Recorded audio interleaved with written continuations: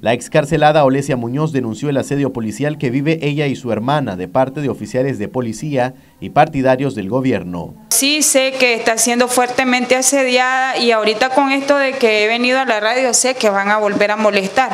A mí lo que me pesa sinceramente y me duele en el alma son los niños, los tres niños que hay en mi familia porque ellos vivieron la persecución que nosotros tuvimos, fueron apresados por varias horas en, ahí en Masaya por Avellán, esos niños, o sea, la psicología de ellos está terriblemente. A mí pues a esta edad me duele, cuanto más un niño pues de 3, 4, 5 años, son tres niños.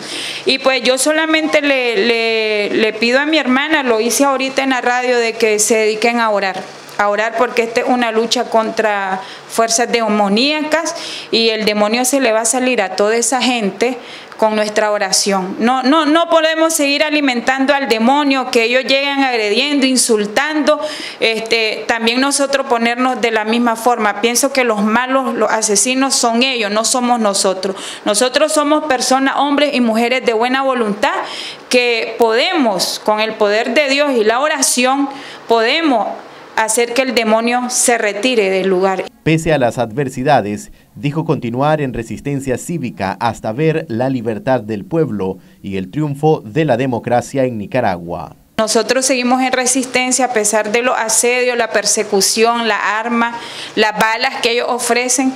El pueblo nicaragüense sigue firme y esa firmeza, yo siempre lo voy a decir, esa firmeza, esa fortaleza solamente Dios la ha dado. Por ejemplo, nosotros como presos políticos no nos han dejado en paz, seguimos más que presos pues todavía aquí porque andamos afuera y ahí nos andan siguiendo, en cualquier momento nos pegan un balazo, hasta ahí no más llegamos.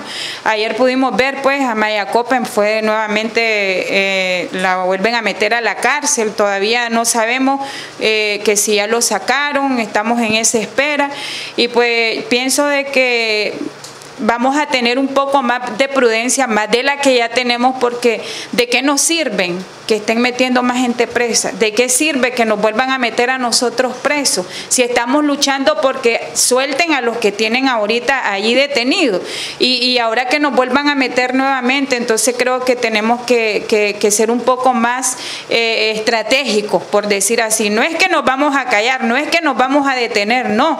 Esto va para adelante con ayuda de Dios. Marcos Medina, Noticias 12.